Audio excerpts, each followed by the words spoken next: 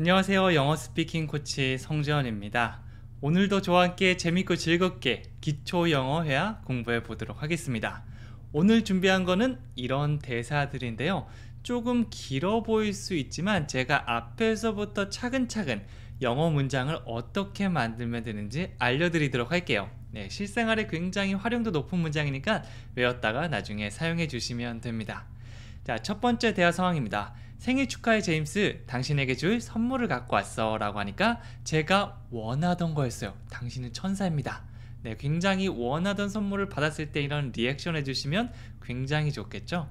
첫 번째 대사 생일 축하해 제임스. 당신에게 줄 선물을 가져왔습니다. 영어로 바꾸면요. Happy birthday James. I brought a present for you. 이렇게 했어요 앞에 있는 Happy Birthday 이거는 우리가 워낙 많이 사용해서 한국어처럼 익숙해진 대사들이죠. 이것뿐만 아니라 다른 기초적인 일상생활 속에 많이 사용하는 말들이 Happy Birthday 이렇게 나올 수 있게 우리는 앞으로 계속 연습할 겁니다.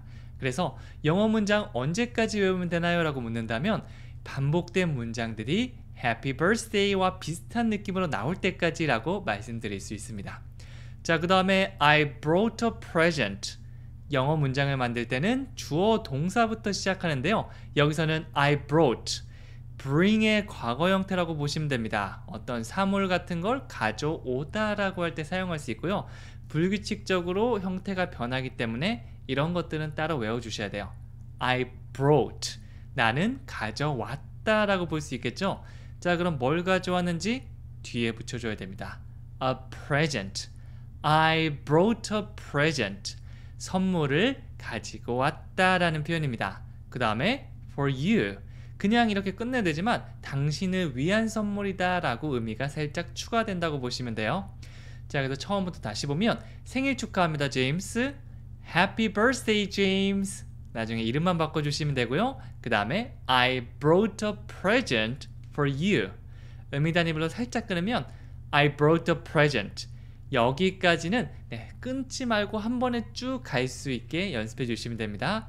전체 문장 다시 느낌 살려서 해볼게요. Happy birthday, James. I brought a present for you.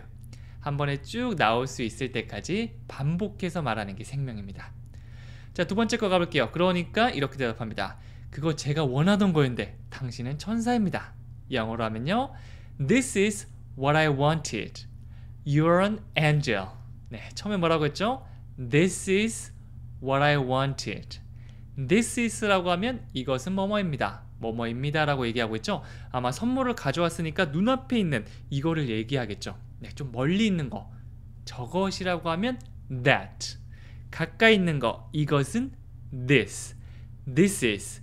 이것은 뭐뭐입니다. 자, 어떤 뭐 this is a 뭐 book. This is a cell phone. 이런 식으로 바로 나오셔도 되고요.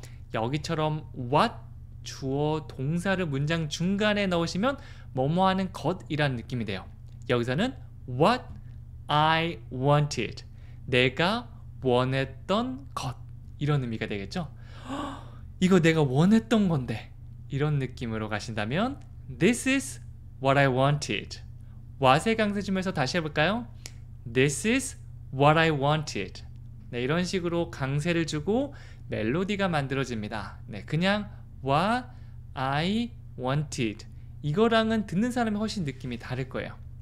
This is what I wanted. 여러분들도 계속해서 뭔가 원했던 선물이 있으면 이런 식으로 말씀해 주시면 됩니다. 자, 그 다음에 You're an angel 이라고 완성 지어고 있죠? 당신은 천사입니다. You're an angel. 네, 그냥 thank you 이렇게 얘기하셔도 되지만 조금 더 재미있게 표현하시고 싶은 분들은 이런 말들 사용해 주셔도 됩니다. 자, 그럼 방금 했던 거 다시 한번 떠올리면서 복습해 보도록 할게요. 이렇게 계속 외운 표현을 확인하는 거는 훨씬 더 깊숙하게 제대로 외우기 위한 네, 필수 과정이라고 볼 수 있는데요. 우리가 외국에 살면 계속해서 그런 상황을 맞닥뜨리면서 쓰게 되잖아요. 하지만 한국에서는 그런 기회가 거의 찾아오지 않겠죠. 이런 식으로 뭐 대신 할 수 있다고 볼 수 있어요. 첫 번째, 생일 축하해 제임스, 당신에게 줄 선물을 가져왔습니다. 영어로 하면 Happy birthday James, I brought a present for you. 헷갈리시면 다시 보고하시면 돼요. 네, 보고해 볼까요? Happy birthday, James. I brought a present for you. 그러니까 제가 원하던 거였어요. 당신은 천사입니다. This is what I wanted. You're an angel. 한 번 더 해볼까요? This is what I wanted. You're an angel. 이렇게 들어갈 수 있겠죠. 자, 그럼 두 번째 대화 상황 계속 보도록 할게요. 헤어 드라이어 가져왔나요? 라고 물으니까 미안해요. 깜빡 잊고 안 가져왔습니다. 라고 하고 있죠. 이것도 만들어 볼게요. 자, 첫 번째. 헤어 드라이어 가져왔나요? 라고 묻는다면 Did you bring a hair dryer? 이렇게 됩니다. 자, 이번에는 did you를 사용해서 물어보고 있는데요. 요 did. 네, 이 표현이 과거를 물어보는 표현이거든요. 너뭐뭐 했어? 라고 물어볼 때 did you? 이렇게 시작하면 되는 거죠. 자, did you 다음에는 동사가 나올 차례죠. 뭘 했는지 물어보면 bring a hair dryer. bring. 조금 전에 우리가 과거 형태로 배워봤었죠. brought. 원래 형태는 bring입니다. 이 R 사운드가 앞에 있기 때문에 입을 모아준 상태에서 시작하면 더 비슷한 사운드를 낼 수 있어요. bring이 아니고요. bring. 약간 모은 사운드가 나오는 거죠. bring a hair dryer. 헤어 드라이가 뭐죠? 뭐 사실 이거는 거의 한국어처럼 쓰는 거기 때문에 머리 말리는 거 헤어 드라이어라고 볼 수 있습니다. 그냥 헤어 드라이어 이거는 약간 한국어처럼 얘기하는 거고요. hair dryer 조금 약 감아준다는 둥글둥글하게 멜로디를 만들어준다는 느낌 항상 기억하고 있으면 상대방과 대화하는데 크게 문제가 없을 거예요. 전체 문장 다시 해보면요. Did you bring a hair dryer? 헤어 드라이어 가지고 왔나요? 라고 묻는 거죠. 자, 그러니까 대답합니다. 미안해요. 깜빡 잊고 안 가져왔습니다. 이거 영어로 바꾼다면 I'm sorry. I forgot to bring it. 이렇게 돼요. 자, 이번에는 I'm sorry. 이것도 happy birthday처럼 우리가 굉장히 많이 사용하는 거죠. 이런 표현이 한두 개가 아니고 100개, 1000개가 있다고 생각해 보세요. 그거를 조합해서 사용하기 시작하면 영어로 말하는 것도 크게 어렵게 느껴지지 않을 겁니다. 처음부터 오면 I forgot 주어 동사가 일단 나왔죠. 나는 잊어먹었다. I forgot. forget이 원래 형태인데 과거형. 잊어버린 거는 과거일이잖아요. 그래서 과거 형태 forgot. 이렇게 불규칙하게 변하는 거는 나오는 것마다 외워준다 라고 생각해 주시면 됩니다. 자, 그 다음에 여기서 그냥 아 까먹었다. 이렇게 끝내도 되지만 뭐뭐 하는 것을 까먹었어. 이렇게 말하고 싶다면 to의 도움을 받으면 돼요. I forgot to bring it. I forgot to bring it. 이렇게 to를 넣어 주시면 됩니다. 그러면 그냥 동사 가져오다가 아니고 가져오는 것을 뭐뭐 했습니다. 이렇게 문장을 길게 만들 때 굉장히 유리한 요소 중 하나예요. I forgot to bring it. 다시 한번 해볼까요? I forgot to bring it. 잘하셨습니다. 자, 다시 한번 복습해 보도록 할게요. 첫 번째, 헤어 드라이어 가지고 왔나요? 라고 물으면 Did you bring a hair dryer? 한번 내볼게요. Did you bring a hair dryer? 그러니까 대답하죠. 미안해요. 깜빡 잊고 안 가져왔습니다. I'm sorry. I forgot to bring it. 한번 내볼게요. I'm sorry. I forgot to bring it. 잘하셨어요. 자, 그럼 마지막 대화 상황 가볼게요. 자, 이번에는 오늘 왜 이렇게 피곤해요? 막 제가 아우 피곤해요. 막 이렇게 얘기하면 뭐 간혹가다 얘기하면 괜찮지만 계속해서 얘기하면 좀 짜증이 날 수 있잖아요. 그러니까 아, 어젯밤에 제가 잠을 잘 못 잤거든요. 오늘 밤에는 일찍 자는 게 좋겠어요. 요거는 말투에 따라서 약간의 권고 정도 느낌이 되기도 하고요. 아니면 약간 조언 정도의 느낌이 되기도 합니다. 첫 번째 것부터 볼게요. 오늘 왜 이렇게 피곤해 하니? 영어로 바꾸면 이렇게 돼요. Why are you so tired today? 이 tired 이건 피곤한 이런 의미를 가진 표현입니다. 이렇게 실생활에서 우리가 피곤하단 말 많이 하잖아요. 이런 걸 하나씩 가져오시면 좋아요. 예를 들어서 쉬운 거 보면 행복한, happy, 슬픈, sad 이런 표현 있죠. 이것도 지금 우리가 막 이만큼 알고 있는데 나중에 이만큼 알고 있으면 더 표현을 많이 내가 원하는 거를 무리 없이 할 수 있을 겁니다. 나오는 거 있으면 하나씩 하나씩 배워간다고 보시면 돼요. 자 여기서 I'm tired 나는 피곤해. You're tired 너는 피곤해. Are you tired? 너 피곤하니? 이런 식으로 질문을 만들 수 있어요. 뭐 거기에 so를 붙이면 정말 피곤하다라고 조금 더 강조하는 느낌이 되겠죠. 자, 이 질문에다가 why를 붙일게요.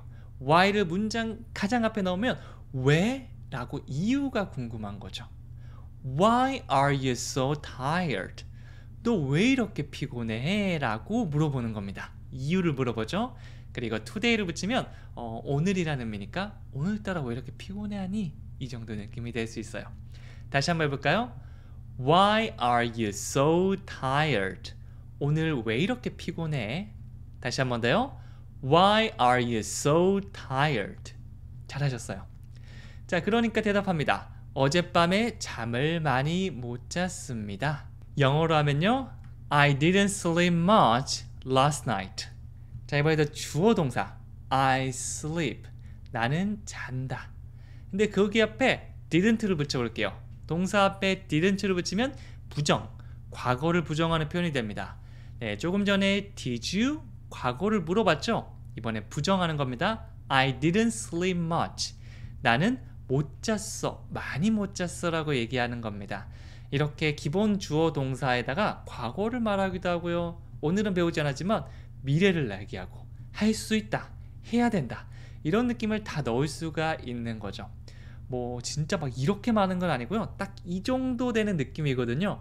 제 수업을 들으면 이 느낌 계속해서 반복해서 배울 수 있으니까 나중에는 나도 모르게 아 못 잤어 과거구나 이게 0.1초 만에 훅 지나간 다음에 I didn't sleep much 이렇게 되는 거예요. 막 생각하는 게 아니라 계속 공부 공부 반복하다 보면 0.1초 만에 딱 떠오릅니다. 어떤 표현처럼요? I'm sorry. Happy birthday. 네, 진짜 이거는 딱 단기간 지나가거든요. 딱 이 느낌이에요. 자, 그 다음에 today는 오늘이고요. last night. 이거는 어젯밤, 지난 밤이란 느낌이죠. 그래서 지난 밤에 많이 못 잤어. I didn't sleep much last night. 이렇게 되는 겁니다.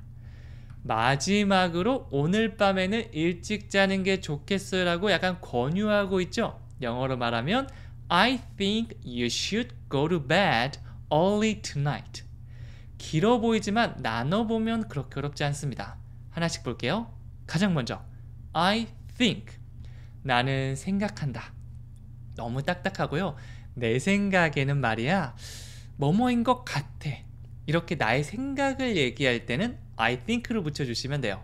확정된 느낌이 아니고 그냥 내 생각을 얘기하는 겁니다. 어떤 생각을 얘기하고 있나요? You should go to bed. Go to bed. 이거는 자러 간다. 잠자리에 들러 간다라는 표현인데요. 그 앞에 you should가 붙었죠. should. 이거는 강압적인 느낌은 아니에요. 그냥 뭐뭐 하는 게 좋아, 뭐뭐 하는 게 좋을 것 같아 라고 부드러운 권유 정도의 느낌이 되는 거죠. You should go to bed. 어젯밤에 많이 못 자서 아, 피곤해 하니까 음, 야, 일찍 자는 게 좋을 것 같다. 이 정도 느낌. 해. 이게 아니고요. 좋을 것 같아. 그러니까 해. 이렇게 부드럽게 권유한다는 느낌이라고 보시면 돼요. I think you should go to bed. 내 생각에는 너 자러 가는 게 좋을 것 같아. 어떻게 자러 가죠? Early tonight. early는 이른. 그래서 빨리 자러 가라는 거고요. tonight. 이거는 내일 밤도 아니고 어젯밤도 아니고 오늘 밤을 얘기합니다. 어젯밤 last night. 오늘 밤 tonight. 이렇게 나오는 거죠. 자, 천천히 다시 해볼게요. 내 생각에는 말이야. I think 너 자러 가는 게 좋을 것 같다. You should go to bed. 일찍 오늘 밤. Early tonight. 연결해 볼게요. I think you should go to bed early tonight. 정말 잘하셨습니다. 자, 그러면 마지막으로 한번 복습해 볼게요. 첫 번째, 오늘 왜 이렇게 피곤해 하세요? Why are you so tired tonight? 한번 더 해볼게요. Why are you so tired tonight? 대답합니다. 어젯밤에 잠 많이 못 잤거든요. I didn't sleep much last night. 한번 더요.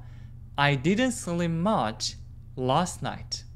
마지막으로 오늘 밤에는 일찍 자는 게 좋겠어요. I think you should go to bed early tonight. 한 번 더요.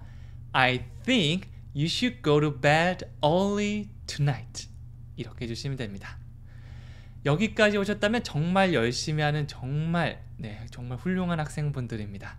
네, 근데 모든 문장을 오늘 배우고 오늘 다 외우고 완벽하게 하는 거는 어려운 거라는 걸 저, 제가 더 잘 알고 있습니다. 네, 그냥 그냥 넘기긴 아쉽잖아요. 그래서 여기 나온 제가 숙제 딱 한 문장 오늘 배웠던 거 가져왔거든요. 이거 댓글로 한번 남기면서 다시 복습한다. 그리고 내 걸로 확실하게 한번 만들어 보자 라고 생각하시면 좋겠고요. 헷갈리시면 다른 분들이 쓴 거 보고 하시면 됩니다. 괜찮아요. 어떻게든 한다는 게 중요한 거죠. 저는 그럼 여기까지 하고요. 다음 시간에 또 찾아오도록 하겠습니다. 감사합니다.